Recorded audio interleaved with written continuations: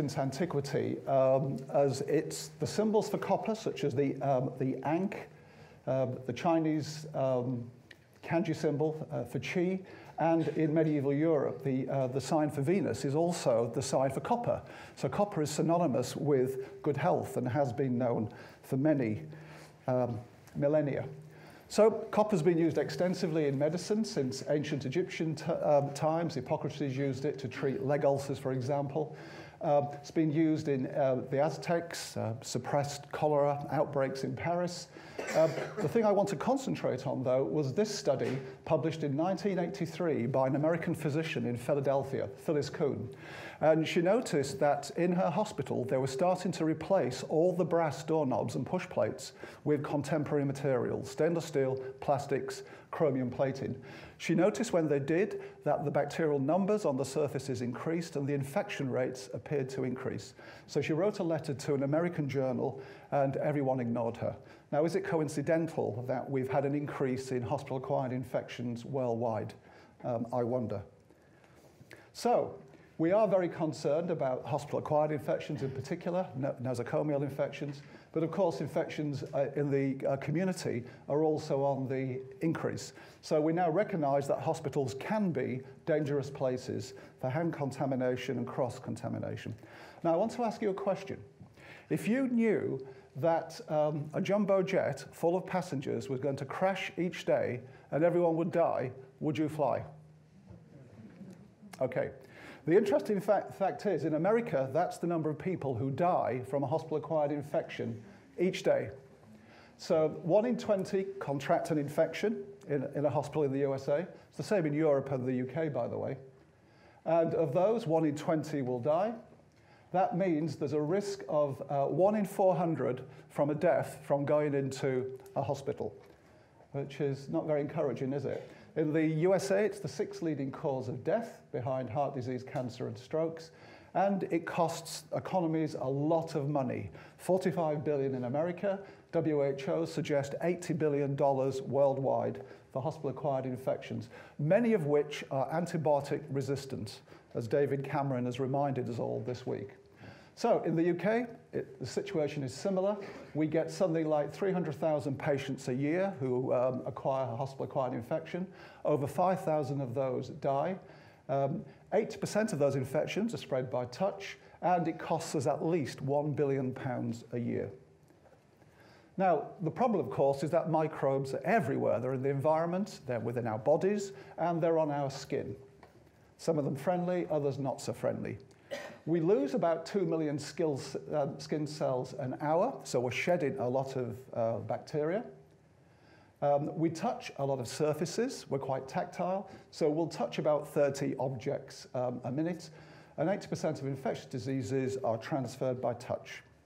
We touch, for example, uh, door handles and push plates in buildings such as hospitals, uh, we also help move pathogens along by coughing and sneezing, and also for even using the toilet when we don't flush with the lid down. Simple things like this. Now, what that means in a hospital, when we actually do microbial counting around a patient's bed, you'll see that these are the numbers of culturable bacteria um, around a bed in an intensive care unit. Now, it's believed for good hygiene uh, measures that there should be less than 250 bacteria per 100 centimeters square. And you can see here we're talking of thousands in that case. So it's a major problem. Another issue is the fact that we can't clean surfaces very well. This is polished stainless steel. It's been professionally cleaned. But under the microscope, you can see there's lots of um, gullies, scratch marks, what have you. And the bacteria can survive in there. So not so good. So to try and answer the warning of Phyllis Kuhn, uh, there have been uh, worldwide studies now where they've replaced uh, touch surfaces in an intensive care unit with copperized surfaces. So bed rails, uh, even mice over bed tables, visitors' chairs, computer keyboards, and what have you. As soon as you do that, this is what happens you find that the mean bioburden of bacteria around a patient's bed decreases from over 6,000 bacteria to less than 400. So we've got more than a 90% reduction in bioburden. Trials have been going on all over the world, and they're reporting greater than a 90% reduction in bacterial uh, bioburden. And in the USA, three studies in, California, in uh, Charleston and New York have shown a 58% reduction in infection. So this is quite exciting. Now, why does copper look so good? Uh, just remind you some simple chemistry. Copper is in the same column of the uh, periodic table as silver and gold, but it's much more reactive than those because it's got a free electron in its outer shell, and this makes it very good for redox reactions. So we've been looking at a whole range of um, alloys of copper to understand their properties.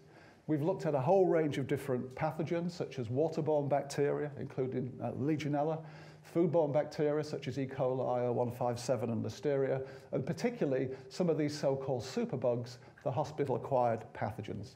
I can, oh, and these include not just bacteria, but also viruses such as flu, norovirus, and adenovirus, and fungi such as Candida aspergillus.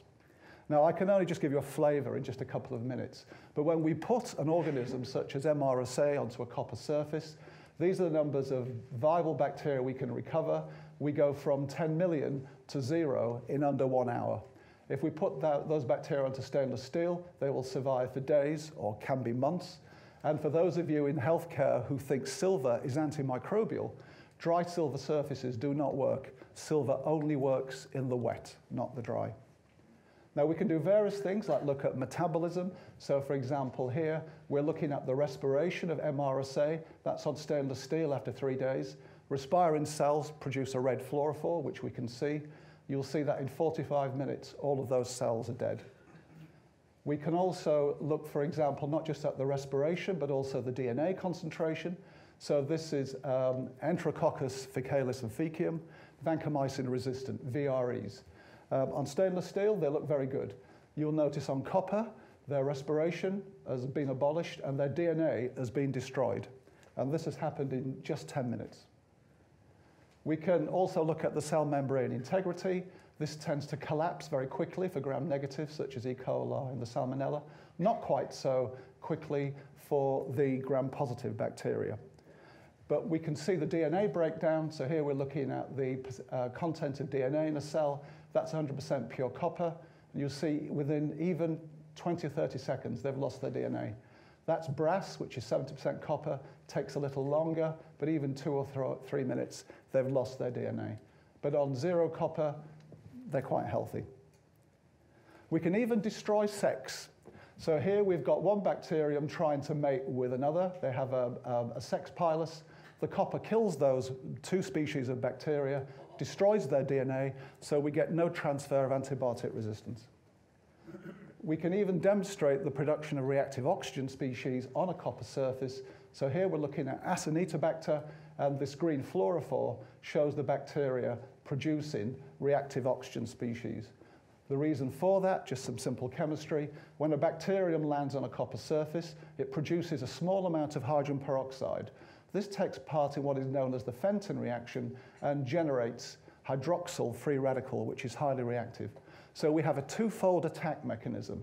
We have direct attack of copper 1 and copper 2, and we have indirect attack of reactive oxygen species such as hydroxyl ion. Now I'm going to whistle through and actually get onto the main thrust. Ambers fabrics. So this is one of the, the fabrics that looks like here. Uh, so that's uh, to the eye. Under the microscope, we can start to see uh, increasing magnifications, the structure of that fabric. Um, this is a control. It does not contain copper, and it looks different under the microscope, but physically the same, but the colors look different. Now, when we actually look at culture recovery of MRSA, uh, a lot of data, but if you just look here, very rapid killing on the copper-containing fabric, similar to what we found on solid surfaces. And if we look on control surfaces, very good survival on those in the absence of copper. Under the microscope, um, we have a copper-containing fabric, and we have a control.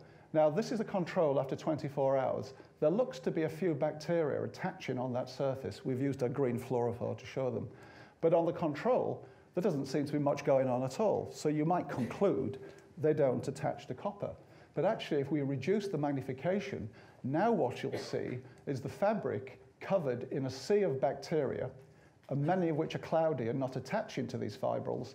And on the copper, fabric, we hardly see anything. And the reason is they've died on the copper surface and their DNA has been destroyed.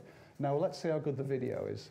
So we've, we've actually teased the fibers out from the copper fabric, and I hope what you'll be able to see are two things. On this surface, you'll see bacteria accreting onto the surface here. And if you look up here, you'll see other bacteria coming down, almost like fingers, and attaching onto the surface. So they're being pulled onto the surface. Now, in this one, we're actually looking fluorescently, and this is almost like snow falling onto a surface. And I hope you can see the bacteria are being pulled onto the copper surface, so they've been attracted. And you can see that also here, where we, we have various of the fibers, and you'll see the bacteria accreting down onto the surface. The bacteria are negatively charged, copper is positively charged, so there's an elect electrical attraction. Now this is a control, so this is in the absence of copper. So here's all the bacteria, which we've stained green, and they're on the outside. And you'll notice nothing is going onto the control fabric, which does not contain copper. So they're not being attracted on the control. Okay, so we can call this a fatal attraction. So it's almost like a moth being attracted to a flame. But rather than the flame doing the killing, it's almost like in the movie where Glenn Close is attracted to you know, the uh, Hollywood star. She's attracted to him, but ultimately her passion destroys herself. So we can call this attraction followed by a metabolic suicide. so finally, back to the future. Florence Nightingale, 150 years ago, reported how if you keep the environment of a hospital clean, then you can reduce the rates of cholera, typhus, and dysentery from 42% down to 2%. So good hygiene has always been important. Hippocrates and others have showed the use of copper dressings to control skin infections. So where are we at now? Over 400 copper alloys have been registered with the US government with an antimicrobial claim. They're now being deployed worldwide in public buildings, hospitals, and public transport. And of course, Amber's company are now coming out with copper fabrics for clothing and dressings, and this offers the future for prophylaxis and therapy.